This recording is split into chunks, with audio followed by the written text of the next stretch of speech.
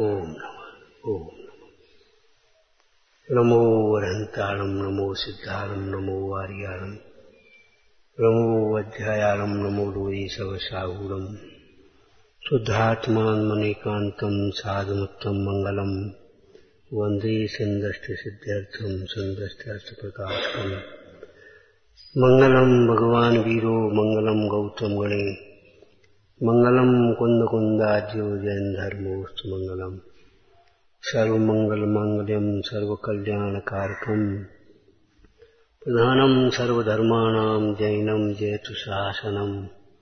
जे जाया जाणिकैकम् कलङ्कदहे नित्य निरञ्जन नानमैत्य परम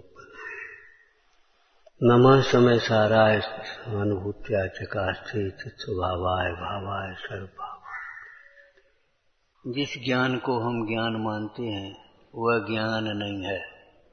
जिस तिस तो हो गई, जिस ज्ञान को, कौन से ज्ञान को हम ज्ञान मानते हैं, और वह ज्ञान नहीं है, इसका स्वाध्याय करो। कितनी बार कहा, गहराई में घुसा करो। किस ज्ञान को ज्ञान मानते हैं?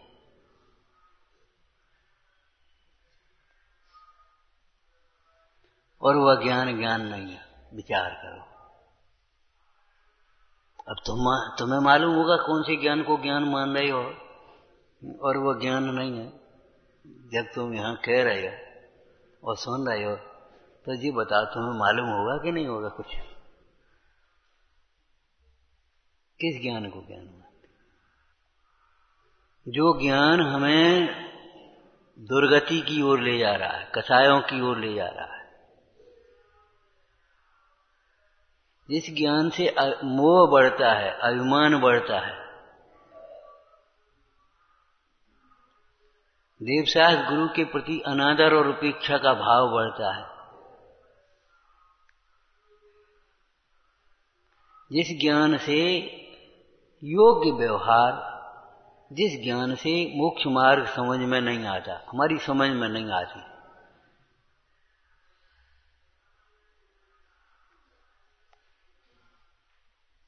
उस ज्ञान को ज्ञान मान रहे अब हम तुम्हारी ओर से बोल रहे भाषा श्रोता की होती है। जिस ज्ञान से ये लगता है, बस ये हम हैं, ये हमारे काम है, सो हमने कर लिए, बस अपने आराम से पढ़ लिया, सुन लिया, गा लिया, बजा लिया, बस ये ज्ञान है, ये विनय है। जिस ज्ञान से अभिमान भी विनय लगता है, अपना अभिमान भी स्वाभिमान लगता है। जिस ज्ञान से अभिमान भी स्वाभिमान लगता है विनय लगती है। हम करते तो हम पता क्या करें? हमारी क्या गलती है?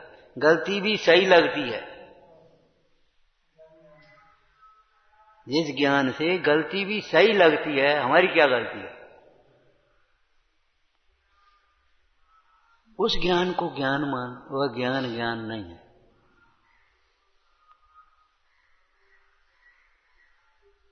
जो हमें देव साहस गुरु से दूर करता है, भावों से,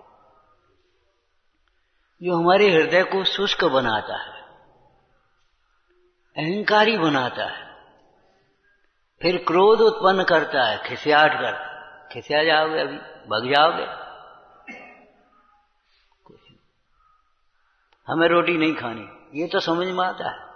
जरा हमारी इच्छा के अनुकूल नहीं हुआ, हमें रोटी नहीं खानी। ये क्यों नहीं हुआ? देखो, इस ज्ञान को ज्ञान मानते हैं। शास्त्रीय भाषा अलग है। शास्त्रीय भाषा जानते हो? जो ज्ञान विषय कषायों का पोषण करता है, मोह सहित ज्ञान, क्रोध सहित ज्ञान मान सहित ज्ञान व ज्ञान ज्ञान नहीं।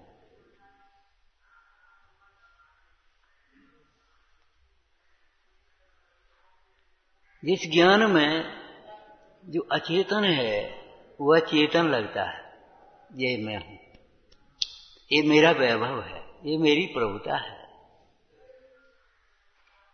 ये हमारा बड़प्पन है। ये हमारी समझदारी है।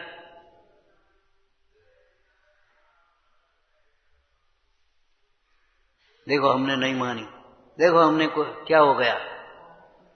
इस ज्ञान को ज्ञान मानते ये ज्ञान ज्ञान नहीं है।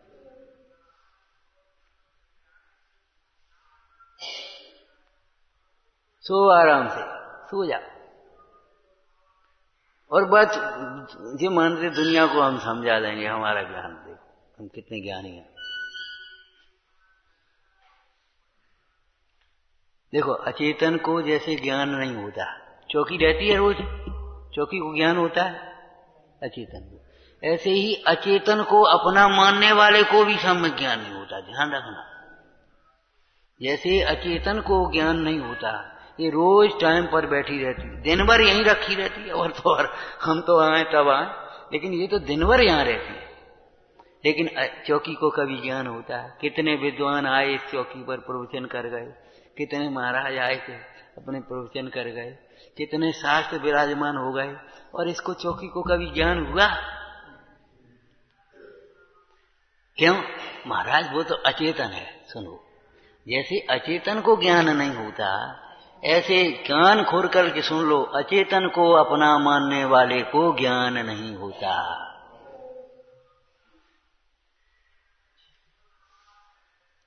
अब वो अचेतन कोई हो?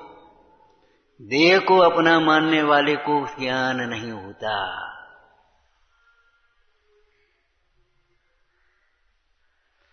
देह की क्रिया को धर्म मानने वाले को ज्ञान नहीं होता। धर्म का प्रारंभ नहीं होता। देहाश्रित इंद्रिय ज्ञान वाले को, जीव को ज्ञान नहीं होता। देहाश्रित, आँखों से जानने वाला ज्ञान। कान से सुनने वाला ज्ञान। और उसी को सर्वथा सत्यार्थ मान बैठे। ध्यान रखना, सम्यक ज्ञानी का इंद्रिय ज्ञान भी सम्यक ज्ञान कहलाता है। सम्यक दृष्टि जीव का इंद्रिय ज्ञान भी सम्यक ज्ञान है। उसका जो व्यवहारिक ज्ञान है, वह भी सम्यक ज्ञान है। मिथ्या दृष्टि का अतीन्द्रिय ज्ञान अतीन्द्रिय ज्ञान होता ही नहीं मिथ्या दृष्टि को। अरे ज्ञान तो सबका अतीन्द्रिय ही होता है। ज्ञान तो सबका अतीन्द्रिय होता है। इंद्रियों के माध्यम से प्रवर्तने के कारण वह ज्ञान इंद्रिय ज्ञान कहलाता है। यदि इंद्रियों की ये माध्यम बीच में से निमित्त में से बंद कर दें तो वो ज्ञान कैसा है? एक दृष्टांत दिया था, हरा प्रकाश, पीला प्रकाश, लाल प्रकाश नहीं होता। प्रकाश तो प्रकाश है। वो जैसे पन्नी में से निकल जाता है, या जैसे कांच में से निकल जाता है, लट्टू बना, हरा लट्टू। तो हरा लट्टू लट्टू का भीतर प्रकाश देखो, भीतर कैसा है वो प्रकाश? उस बल्ब के भीतर का प्रकाश देखो, कैसा है? वो तो उस पर पॉलिश है। तो पॉलिश के भीतर पार होता है तो वो हरा सा दिखता है। नल का पानी, लोटे का पानी, बाल्टी का पानी, घड़े का पानी भरा घड़े पानी बोले पानी का पानी है। नहाने का पानी,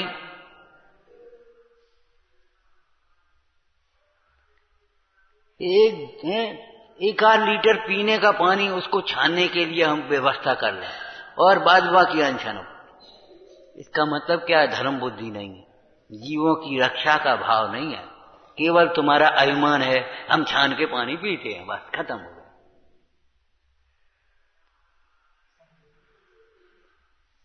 क्यों भाई? उस पानी को ये मालूम है कि तुम छानने के लिए पी रहे हो पीने के लिए छानोगे कि बस के लिए छानोगे? का मतलब हमें वो मतलब मुँह से ये नहीं निकलता, ये हमारा अपराध है, ये हमारा दोष है कभी। दोष समझ में ही नहीं आता। कभी लगता ही नहीं। शरीर जैसे समझ में आया ना, जो अचेतन को चेतन मानता है, उसे भी सम्यक ज्ञान नहीं होता। उसी प्रकार, जिस प्रकार अचेतन को ज्ञान नहीं होता।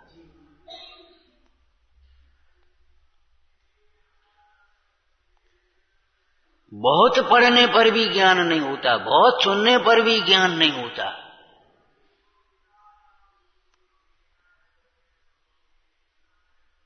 एक शास्त्र में दृष्टांत है। जैसे सर्प जहर को नहीं छोड़ता, लेकिन जहर का नाश करने वाले दूध गुड़ को पीता हुआ भी जहर को नहीं छोड़ता। ऐसे अज्ञान और मोह को नहीं छोड़ता, कसायों, अभिमान को नहीं छोड़ता, और अभिमान आदि को छुड़ाने वाले, मोह को छुड़ाने वाले, अनेक जिन शास्त्रों को भी पढ़ते हुए भी अभिमान और मोह नहीं छोड़ते।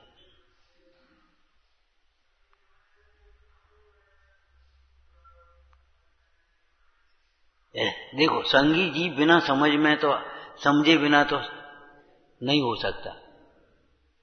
जैसे जीव ज्ञान बिना नहीं होता, ऐसे संगी किसे कहते हैं? जिसमें शिक्षा, उपदेश ग्रहण करने की शक्ति, सामर्थ्य हो, जो समझ सके, उसे संगी कहते हैं। तो समझेगा तो है सीधा नहीं समझेगा तो उल्टा समझेगा। और जो उल्टे को सीधा समझेगा, अपने मतलब की बातें समझेगा, वो कभी धर्म नहीं समझ पाए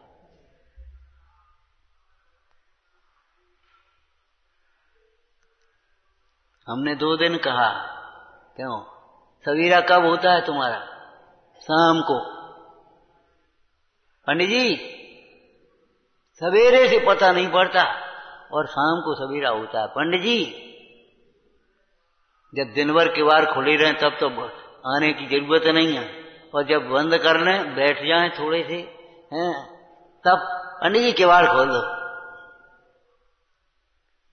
कितनी बार कहा? कितनी बार कहा सही बताना। और ये समझ में आता है, क्या करना कहने दो। अपन अपना काम करो। ये तो समझ में आता है। अचार क्यों हटाया? चटाई क्यों हटाई? क्यों हटाई? एक जरा सी चटाई के प्रति लापरवाही। एक दूसरे पर टालना, एक दूसरे पर देखना। अचार क्यों हटाया? उस दिन कहा था, यहाँ तक क्यों बढ़ा रहे हो सवेरे वो कल भी शांत को कहाँ तक था? कहाँ तक था? समझ में नहीं आती। नहीं, समझ में नहीं आई। एक एक की भी समझ में नहीं आई। इतने इतने बैठे सबके सब, धोती दुपट्टा, ओढ़े ओढ़े, धर्म, धर्मात्मा अलग से अलग से इनका कूठा है। एक की भी समझ में नहीं आती। इसमें समझाने की बातें हैं।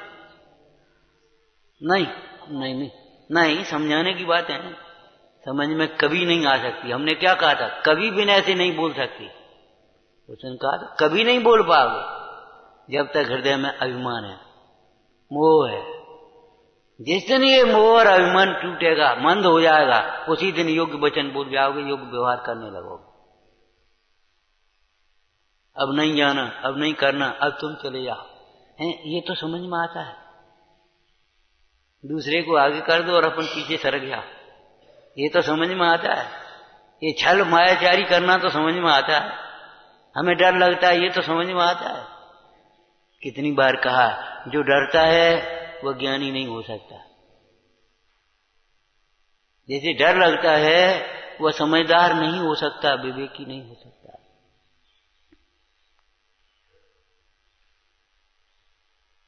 मिथ्या तो है डर के संबंध में। जहाँ डरना चाहिए, वहाँ नहीं डरते।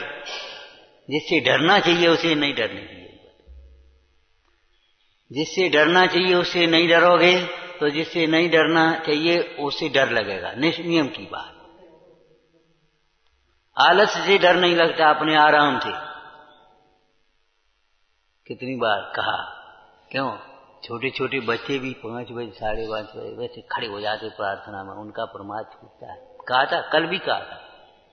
कोई एक शब्द की भी जवाब दिया हो तो बोलो, किसी ने, यहाँ से लेकर वहाँ तक बैठे सब। ये समझ में आता है, कहने दो अपन अपना काम करो। कहा था, मनमानी प्रवृत्ति से अपना काम नहीं होता, अपना कल्याण नहीं होता।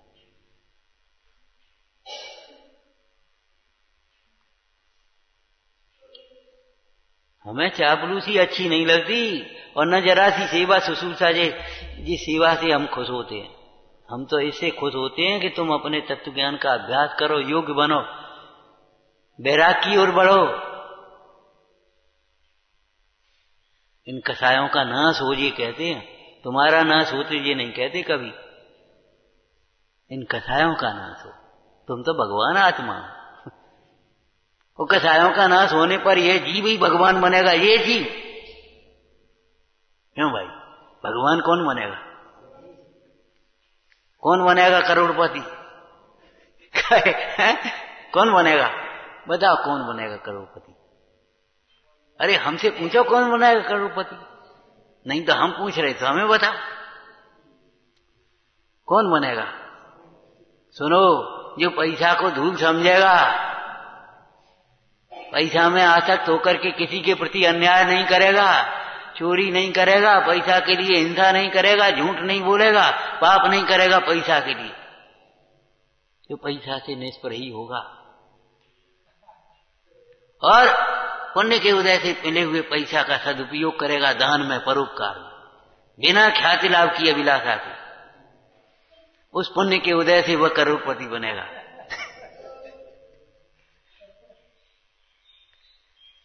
करोड़पतियों से ईर्षा करें, देखो जिन्हें चोरी, डकैती करके करोड़पति नहीं बनेंगे। पापानुबंधी पुण्य का अगर उदय भी हुआ, उन्होंने दिखावटी कुछ पुण्य पुण्य के काम किए बाहर में। ऐसा अनुष्ठान कर लो, ऐसा मंदिर बना दो, ऐसा ये कर दो, इसमें यह कर दो, यहाँ हमारा नाम लिखा दो, ये ऐसा कर लो। अगर नकली पुण्य कर लिया, पापानुबंधी पुण्य का उदय भी हुआ तो सुनो, करोड़पति नहीं बनेंगे, करोड़ करोड़ों के सेवक बनेंगे, उनके चौकीदार बनेंगे। कार्त के अनुप्रेक्षा में लिखा है, करोड़ों के स्वामी नहीं है वे करोड़ों के रखाने चौकीदार हैं।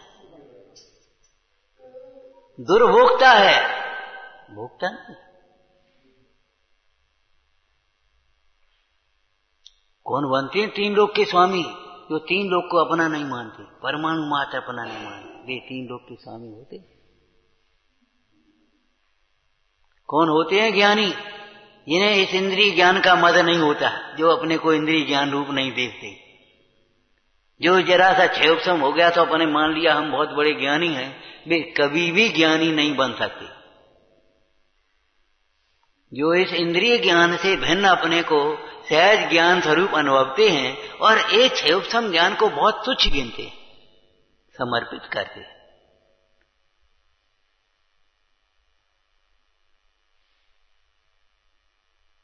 कैसी विनय की भाषाएँ लिखी हमारे निज वैभव का, माने ज्ञान का जन्म कैसे हुआ? आगम के अभ्यास से अभ्यास से अभ्यास जानते हो? अभ्यास किसका नाम है? एक होती है पुस्तक और एक होती है अभ्यास पुस्तिका। अभ्यास पुस्तिका किसको कहते कापी को कहते हैं। जैसा वहाँ लिखा है, वैसा लिखना। ज़्यादा हो तो मिटाना, कम हो तो बढ़ाना, फिर लिखना, फिर मिटाना, फिर लिखना, फिर मिटाना। अभ्यास इसी का नाम है। याद कर लेना, उसको घोक लेना। जैसा वहाँ कहा है, वैसे को अपने को, अपने यहाँ लिख लेना। ये अंतरंग का अभ्यास है। जैसी इस प्रतिमा पर जो लिखा है, वो यहाँ लिख लेना। जैसा जिनवाणी में लिखा है, वैसा यहाँ लिख लेना। इसका नाम अभ्यास है। ये तो गलत है। जी जिनवाणी के विरुद्ध हमारा काम। जिनवाणी में से बिना नहीं कहा। जिनवाणी में से संतोष नहीं कहा। जिनवाणी ने इसको में इसको क्षमा नहीं कहा। गलत है हमारी प्रवृत्ति। मिटाओ इसको। जिनवाणी में लिखा है, उस हिसाब से फिर बनाओ, फिर मिटाओ फिर मिटाओ, फिर बनाओ। जिनवाणी ने ऐसे ज्ञान नहीं कहा है। गाने के लिए थोड़ा ही है।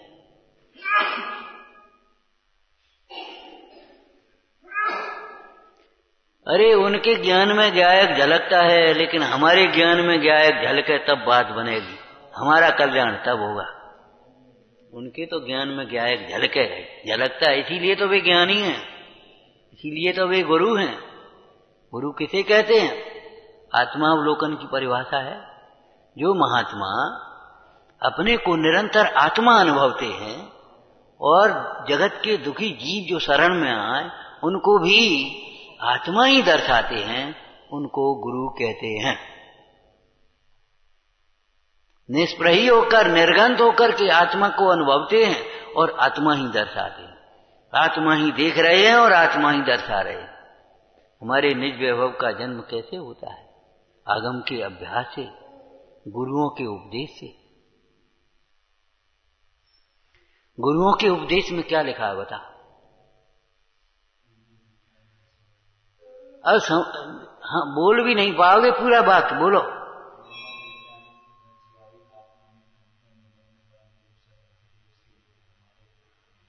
हाँ। हम कह रहे नहीं बोल पाओगे। बोल तब पाओगे जब भीतर होगा। शब्द रटने से कैसे काम चलेगा भैया? नहीं काम चलेगा। सही बोला। निर्मल विज्ञान घन स्वभाव में निमग्न। इसीलिए तो निष्प्रयी है? कल भी कहा था, रात को भी अपनी चर्चा में कहा था ना, शुद्धात्मा की उपलब्धि से मोह ग्रंथि टूटती है। जिसको भूले ने से मोह होता है, उसको समझे बिना मोह कैसे मिटेगा? जिसके बिना अंधेरा है, उसके उसके बिना उजेला कैसा होगा? आज लाइट नहीं है तो अंधेरा है। तो लाइट आएगी तब उजेला होगा। सूर्योदय नहीं है इसलिए अंधेरा है। तो सूर्योदय होगा वहाँ तब अंधेरा हो उजीला होगा। जिसको जाने बिना मोह हो रहा है, उसको जाने बिना तुम दुनिया की पंचायत जान लेना, दुनिया की चतुराई जान लेना, मोह नहीं मिटेगा। और मोह नहीं मिटने का मतलब यह है, एक भी कसाएँ नहीं मिटेंगे। क्योंकि दर्शन मोह मिटता है, तब चारित्र मोह मिटता है। ये मोह का परिवार है, क्रोध, मान, माया, लोभ। मोह नहीं मिटेगा माने गुस्सा नहीं मिटेगी।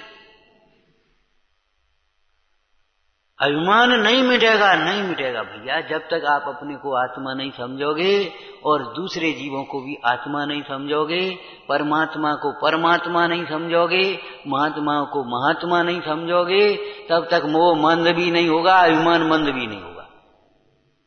जब तक तुम अपने को सर्वोपरि समझते रहोगे, बिल्कुल कुछ नहीं होगा। बड़े को बड़ा नहीं समझोगे, छोटे को छोटा नहीं समझोगे, मन मंद भी नहीं होगा।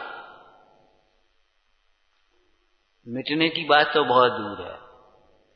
जब तक कुपति करोगे, बुखार मंद भी नहीं होगा, रोग मंद भी नहीं होगा। जब तक कुपथ सेवन करेगा, तब तक रोग मंद भी नहीं होगा। दो दिन का आराम मिल गया, तीसरे दिन फिर दर्द होने लगा। क्यों? फिर कुपथ कर दिया होगा कोई। दर्द हो रहा हो चावल खाने, अब बताओ हम क्या करें? दर्द तो हो। गई दर्द हो रहा है और चावल खाने, पराठे खाने।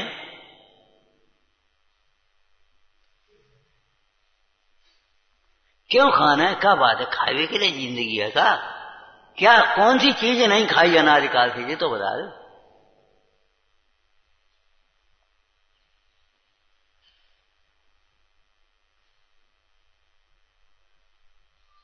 स्वाद उसमें नहीं है।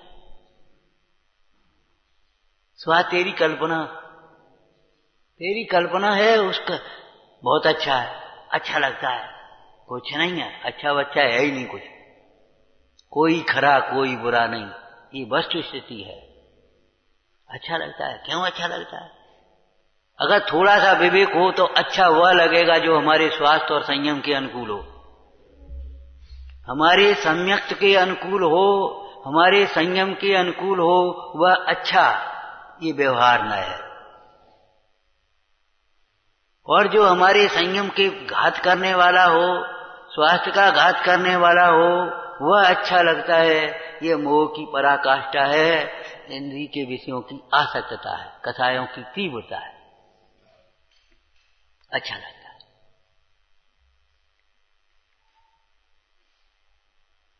लय अच्छी लगती है कर्णेन्द्री का विषय है। और भाव अच्छा लगता है। ये आपका विषय है। ये मोह की मान्यता है।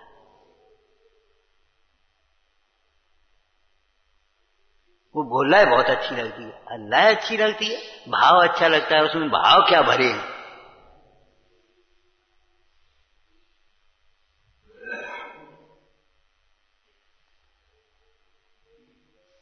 जो ज्ञान, देखो ज्ञान कथा मोह को मेटने वाला है।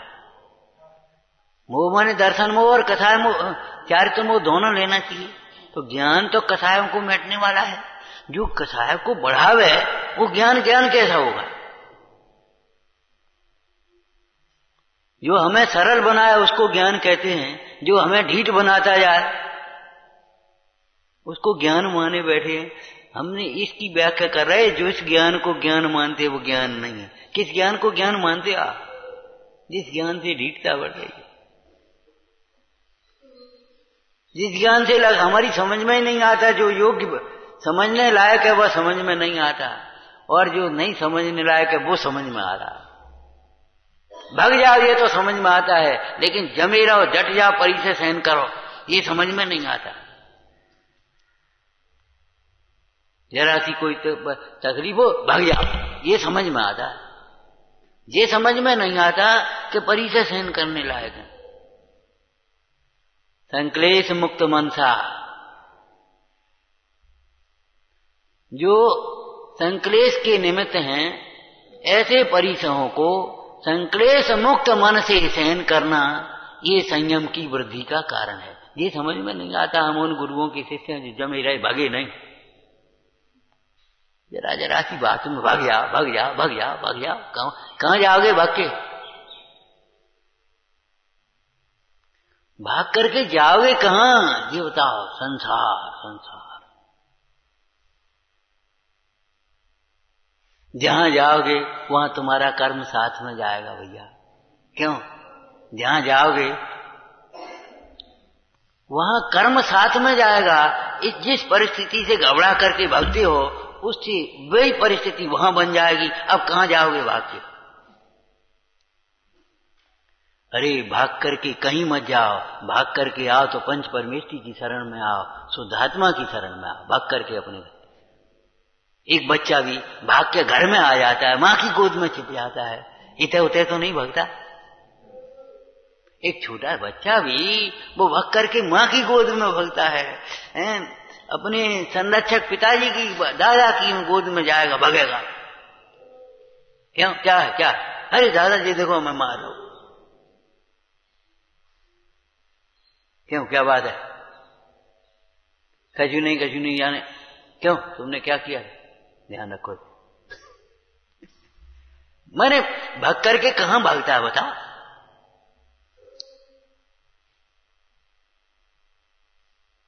घर बैकुंठ नहीं है?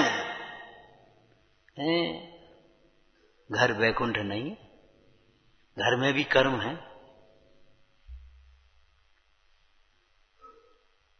घर में भी कर्म है। घर कोई सुख का कारण होता तीर्थंकर क्यों छोड़ते? तीर्थंकरों जैसा घर है तुम्हारा। कहाँ जाओगे भाग करके दो दो हम कहते हैं, आप तो मनुष्य पर्याय में हो, श्रावक दशा में हो बे हिरन ऐसे ही ठाड़े रह गए. याद है भैया हर्षवर्धन?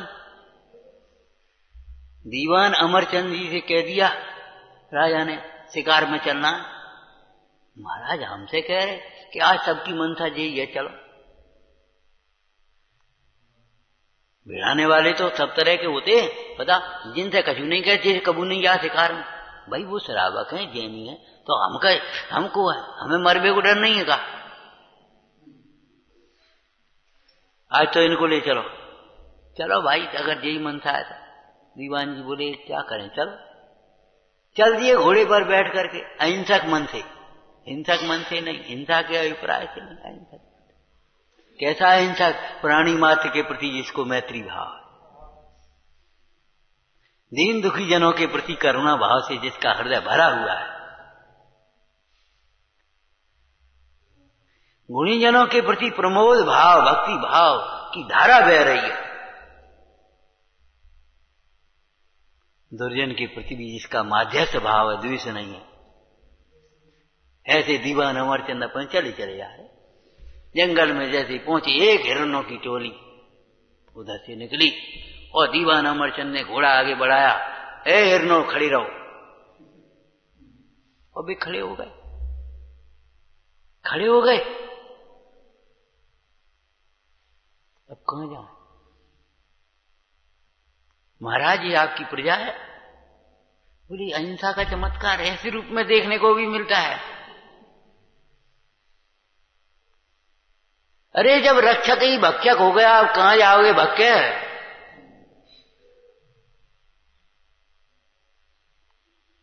पंच परमेष्टि का स्मरण करो। शिकार करने छोड़ गए? देखा। इसको कहते हैं ज्ञान, जो हमें अहिंसा की ओर ले जाता है। जो पापों से छुड़ा है दुखों से छुड़ा है उसको ज्ञान कहते हैं, उसको धर्म कहते हैं। धर्म भी, धर्म दुखों से छुड़ाता है। तो पापों से छुड़ाए बिना दुखों से छुड़ा देगा कोई? क्यों भाई, बोलो। पापों से छुड़ाए बिना कोई दुखों से छुड़ा सकता है? और पापों से छूटे बिना दुख से छूट सकते हो? बहुत लोग आते आशीर्वाद, हमने दो ही से दे रहे रोम रोम से दे रहे हम करें क्या बोलो? भैया, पाप छोड़ो, आशीर्वाद ही है। ये भगवंतों के आशीर्वचन यही है, पाप को छोड़ो। मोह को छोड़ो, मोह तुम्हें हैरान कर रहा है। ये समस्त शास्त्र आशीर्वचन है आशीर्वचन है।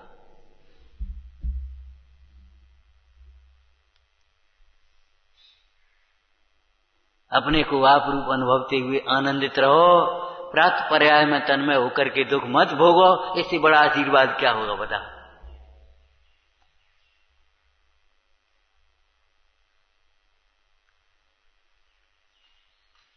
अचेतन को ज्ञान नहीं होता, अचेतन को अपना मानने वाले को भी ज्ञान नहीं होता। अचेतन से अपना बड़प्पन मान रहे। अचेतन को अपना मान रहे। इंद्रिय ज्ञान को ज्ञान मान रहे। बताओ, ये ज्ञान है कोई? एक न्याय रख लेना। जिससे जिससे हमारा रोग न मिटे, वो औषधि है। औषधि होगी किसी की, हमें कोई मतलब नहीं, वो हमारी दवाई नहीं है। जिससे हमारा रोग न मिटे। ऐसे जिस ज्ञान से दुख दूर ना हो, समाधान ना हो जाए, समझ में ना आ जाए, समझने लायक, उस ज्ञान को ज्ञान नहीं कहते। तो अभी फिर सोचते हम कुछ ज्ञानी हैं? उस कृषक बालिका ने कह दिया, इस महिला ने कह दिया था। अगर तुम्हारी इन पोथियों में ये तुम्हारा दृश्य नहीं है, और तुम्हें स्त्रियों के संबंध में इस प्रकार की भ्रांति है तो समझ लेना चाहिए आग लगा दो इन पोथियों कोई मतलब नहीं। इसी शैली में हम कह देते हैं, इसमें क्या परेशानी हुई क्या फ़ायदा है तुम्हारी इस पढ़ाई लिखाई से? जो समझ में ही नहीं आता? कब समझ में आएगा? कौन समझाएगा? अभी समझ में नहीं आता तो त्रियंज गति में समझ में आएगा क्या? नरक में समझ में आएगा? इन भावों का क्या फल होगा?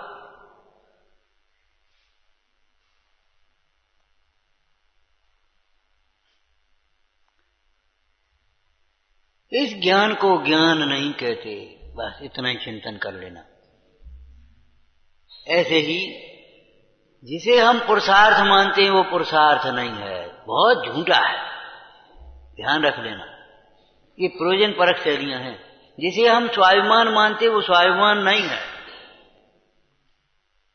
जिसको हम विनय मानते वो विनय नहीं है। अनुकूल प्रवर्तन को विनय कहते हैं।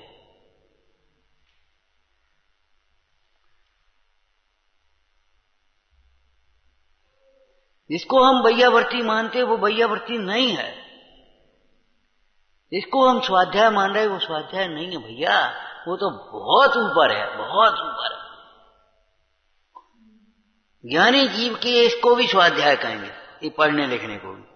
ज्ञानी जीव के इंद्रिय ज्ञान को भी ज्ञान कहेंगे, उसकी शरीर की भैयावृत्ति को भी भैयावृत्ति कहेंगे। नमस्कार साहब, जय जनन साहब, वंदना। है, नमोस्तु। इसको भी विनय कहेंगे, शरीर की क्रिया को भी विनय कहेंगे। ध्यान रखना, उसकी बने शरीर की वैयावृत्ति को भी वैयावृत्ति कहेंगे, लेकिन अंतर के परिणाम सहित देखो, व्यवहार होता है ना, वो आरोप होता है, उपचार। तो उपचार, कोई निरुपचार हो, तब तो उपचार है। निरुपचार नहीं हो तो उपचार कैसा? किसका किसमें उपचार करें हम? कैसे हम इसको कहें? बाल तप, बाल व्रत।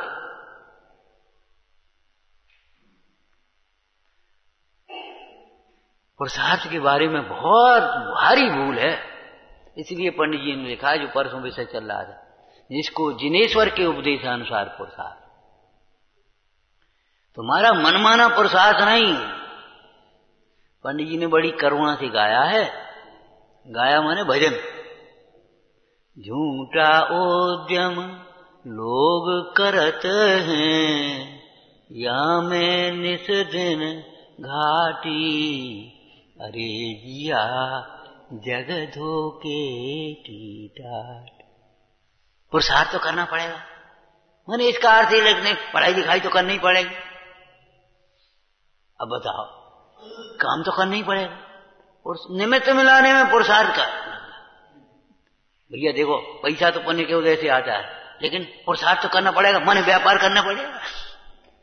माने पुरुषार्थ के नाम पर बहिरात्मा केवल बाहर की क्रिया को और बाहर के विकल्पों की पूर्ति को पुरुषार्थ मानता है। पुरुषार्थ माने समता, भाव की ओर बढ़ना, वस्तु के स्वरूप को स्वीकार करना। क्यों भाई? पुण्य के उदय से लक्ष्मी आएगी, तब आएगी। लेकिन पुरुषार्थ तो करना पड़ेगा, माने आज की परिस्थिति में संतोष रखना पड़ेगा। आज की परिस्थिति में भी हमको दान पुण्य नहीं छोड़ना होगा। आज की परिस्थिति में भी हमें धर्म नहीं छोड़ना होगा। जो हमारे सामने अनुकूल प्रतिकूल परिस्थिति बन रही है, उस परिस्थिति में समता भाव बनाए रखने में हमारा पुरुषार्थ है। उसको बदलने में हमारा पुरुषार्थ नहीं।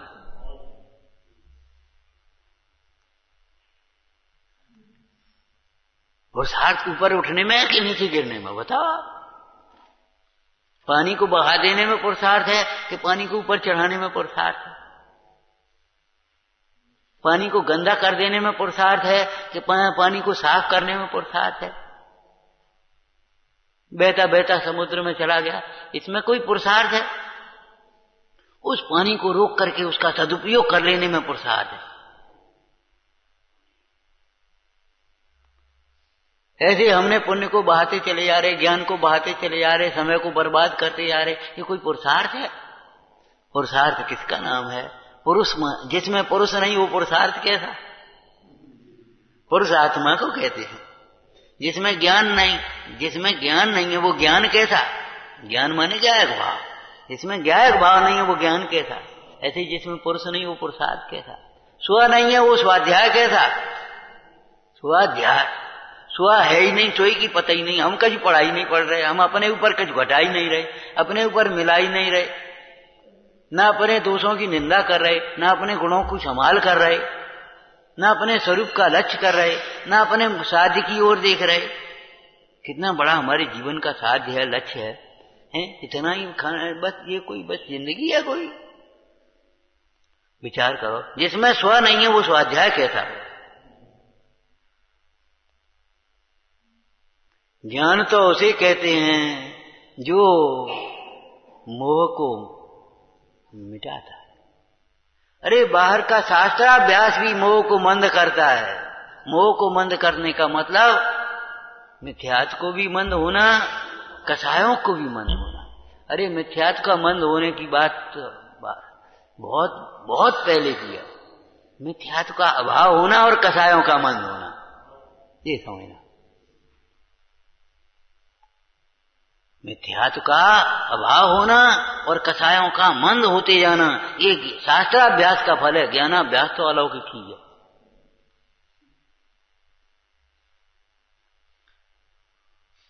उसे हम ज्ञान कहेंगे पशु की तरह आचरण करता, अन्याय नीति अवक्ष है, उल्टा सीधा, उसको हम आदमी कहेंगे। सच्ची घटना है ये सब। इतनी बड़ी सभा में एक ने प्रश्न कर दिया, महाराज, आप कहते मनुष्य पर्याय दुर्लभ है, इतने मनुष्य हो गए, इतने करोड़ों। आबादी कितनी हो गई फिर? हमने कहा, बेटा, शांति से सुनोगे? क्या आप कहो अरे, भाई, शांति नहीं, सुनो।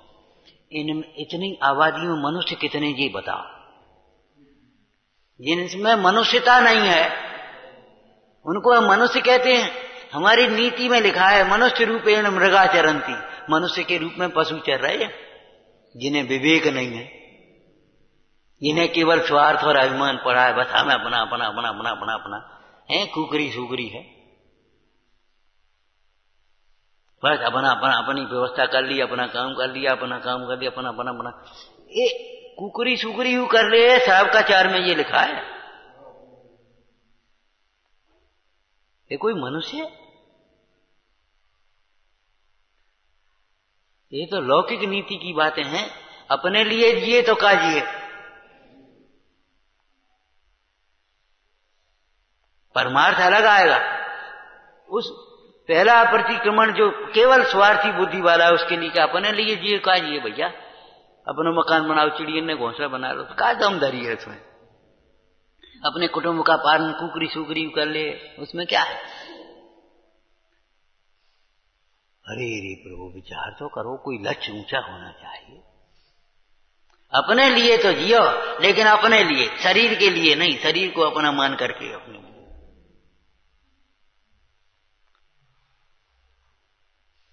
बहुत भूल है, बहुत भूल है। सच पूछो तो क्या करें? पूरी इसलिए नहीं कहेंगे, भूल के काल में भी मूल सुरक्षित है। भूल के काल में भी मूल सुरक्षित है। इसलिए पूरी भूल नहीं कहेंगे। तुमने भले अचेतन मान लिया हो आत्मा को, लेकिन आत्मा अचेतन नहीं हुआ है। इसलिए पूरी भूल नहीं कह रहे। बहुत भूल है जी कह रहे हो। हे जिनवाणी भारती तो ही जपू दिन रे, जो तेरी शरणा गए सो पावे सुख ते। वाणी के ते। सूझे लोकालो। सो वाणी मस्तक नमो। सदा देत हूँ धो।